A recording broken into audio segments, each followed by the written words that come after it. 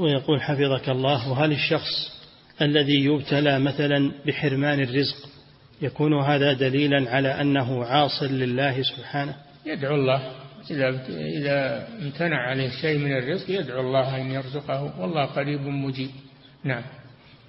وقد يحرم في الحديث يحرم قد يحرم المرء من الرزق بذنب يصيبه بذنب يصيبه. نعم.